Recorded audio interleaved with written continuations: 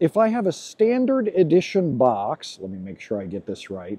If I have a standard edition box that runs nothing other than a single instance of SQL Server 2022, what is the absolute maximum amount of RAM that's worth putting in it? I know it's more than 128 gigs, but surely it's less than one terabyte.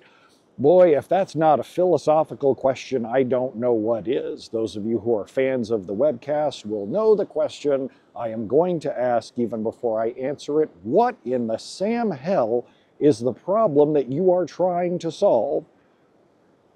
If you have a problem that needs more than 128 gigs of RAM, son, you don't need more RAM, you need Enterprise Edition. That's what SQL Server Enterprise Edition is for. Otherwise, if you're just playing around trying to allocate a whole bunch of memory to a server, go do something productive. Now, what I will say is, is in environments where somebody's given me a physical server to run standard edition, this has been years since this has happened.